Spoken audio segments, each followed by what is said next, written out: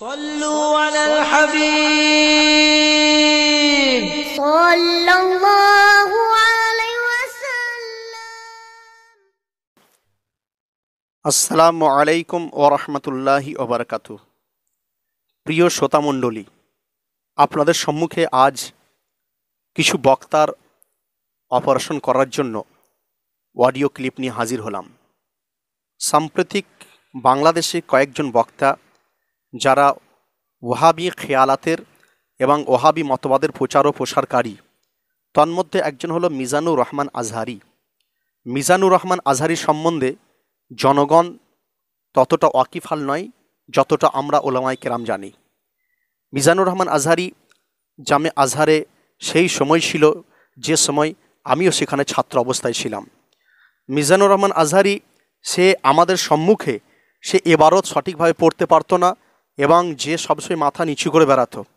অতএব সেই প্রসঙ্গে বলতে চাই, যদি এর প্রমাণ কেউ নিতে চায় বাংলাদেশের বিখ্যাত একজন পিএইচডি এবং এম ফিলকারী ডক্টর সাইফুল ইসলাম আজহারির কাছে তারা জিজ্ঞাসা করতে পারে। তো মিজানুর রহমান আজহারির ক্যারেক্টার, চরিত্র সম্বন্ধে সকলেই জানে। সেখানেই সে লোকের কাছে মুখ লুকিয়ে বেড়াতো এবং তার জ্ঞান, ইসলামিক জ্ঞান সম্বন্ধে কোনো জ্ঞান ছিল না। এখন একটু গলা বাজিয়ে লোকের কাছে সে ভিডিওর দ্বারা পরিচিত হতে চায়। এবং বহু লোককে সে দিন বা দিন গুমরাহ করে চলেছে। অনুরোধ এটাই করতে চাই যে, সাধারণ ব্যক্তি যারা ইসলাম সম্বন্ধে জানা ইচ্ছুক, তারা যেন অবশ্যই এই ধরনের বক্তাদেরকে বয়কট করার চেষ্টা করে। সাম্প্রতিক একটা ভিডিও ক্লিপ যেটা সে প্রকাশ করেছে যে, রসুলে পাক সাহেবের আলাক সম্বন্ধে এত খারাপ অপবাদ সে দিয়েছে যে, হুজুর সাল্লাম তিনি নিরক্ষর ছিলেন, অর্থাৎ অক্ষর জ্ঞান তার মধ্যে ছিল না। বাচ্চারা ওই চিঠি গ্রহণ করে না যে চিঠির নিচে চিঠির প্রেরক সিগনেচার না দেয় কিংবা সিল না দেয়। তো বিষ্ণুনবী তো সিগনেচার দিতে জানতেন না। কারণ বিষ্ণুনবী ছিলেন নবী আল উম্মি নিরক্ষর নবী। বিষ্ণুনবীর কোনো অক্ষর জ্ঞান ছিল না। আলিফ, বা, তা, সা, কোনটারে জিম বলে, কোনটারে হা বলে, উনি বুঝতেন না। কোনটাকে ওয়াহেদ, ইসনাইন, সালাসা, এক, দুই, তিন কীভাবে লেখে, লেখা থাকলে ওইটা পড়তেও জানতেন না। উনি নিরক্ষর ছিলেন। নওয়াজবিল্লা মিন জালিক এই ধরনের প্রথমে বলে রাখি, এই ধরনের আকিদা রাখা এটা ইবলিসের আকিদা। এই ধরনের আকিদা রাখা জাহান্নামীর পরিচয়। এই ধরনের আকিদা রাখনেওয়ালা কখনো সে সুন্নি জামাত, এমনকি মুসলমানের মধ্যেই সে গণ্য হতে পারে না। তার কয়েকটা দলিল আপনাদের সম্মুখে আমি পেশ করতে চাই। দেখুন, কোরআন শরীফের মধ্যে আল্লাহ রব্বুল আলমিন সুরা রহমান আয়াত নম্বর এক উল্লেখ করেন, আর রহমান তার পরবর্তী আল্লামাল কোরআন। অর্থাৎ রহমান তার হাবিবকে কোরআন শিক্ষা দিয়েছেন। এখানে কোরআন শব্দের অর্থ সারা বিশ্বের জ্ঞান ওনাকে শিক্ষা দিয়েছেন।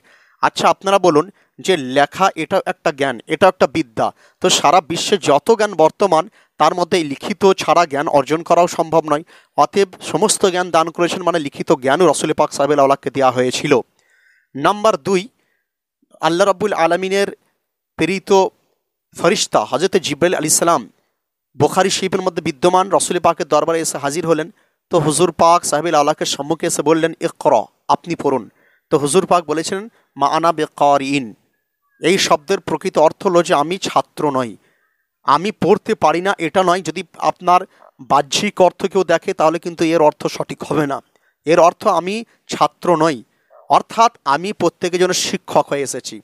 আজকের সাধারণ জ্ঞান যার ওয়ানে পড়েছে ওয়ানে পড়েছে বা সাধারণ লোক তার ধারণা এটাই যে যিনি শিক্ষক হতে পারেন, তিনি অক্ষর জ্ঞানও যেমন থাকবে, সমস্ত বিশ্বের জ্ঞান তার মধ্যেও থাকবে। অতএব সেই ক্ষেত্রে এই আয়াতের দ্বারা পরিচয় বা এই আপনার রহমান আল্লামাল কোরআন এই আয়াতের দ্বারা এটা পরিচয় যে সমস্ত বিশ্বের জ্ঞান রসুলি পাক সাহেবকে দান করা হয়েছে। আর দ্বিতীয় হাদিস শরীফে মা আনা বেকারিন, এর দ্বারাও আপনার তশরি যেটা বরিস্ত মোয়াল্লিমান রসুল পাক সাল্লাহ সাল্লাম সমস্ত বিশ্ববাসীর জন্য শিক্ষক হয়ে এসেছিলেন। অতএব যেহেতু শিক্ষক ছিলেন, সমস্ত জ্ঞান ওনার মধ্যে ছিল। নাম্বার থ্রি দেখুন, কোরআন শরীফে এমন কিছু শব্দ রয়েছে, এমন কিছু অক্ষর রয়েছে যেগুলোর অর্থ একমাত্র আল্লাহ এবং আল্লাহ রসুল ব্যতীত আর কেউ জানেন না। জিব্রাইল আলী ইসলাম যখন আল্লাহ রসুলের দরবারে এসে বলেন, পড়ুন। আলিফ, লাম, মিম। তো হুজুর পাক সাহেবুল আলাক তিনি বলেছিলেন যে, আলিম তো আমি জেনে গেছি। অর্থাৎ আলিফকেও তিনি জেনে গেছেন লামকেও জেনে গেছেন মিমকেও জেনে গেছেন। আবার যখন জিবর আলি ইসলাম বলেন, পড়ুন ত হা। হুজুর পাক সালবত বলছেন, আলিম তো আমি জেনে গেছি, অর্থাৎ তও জেনে গেছেন, হাও জেনে গেছেন। আবার যখন বলা হয় কাফ, হা, ইয়া, আইন, সোয়াদ রসুল পাক তিনি বলছেন, আলিম তো আমি জেনে গেছি। তাহলে আপনি বলুন, এই সকল শব্দের দ্বারা এগুলো কি অক্ষর নয়?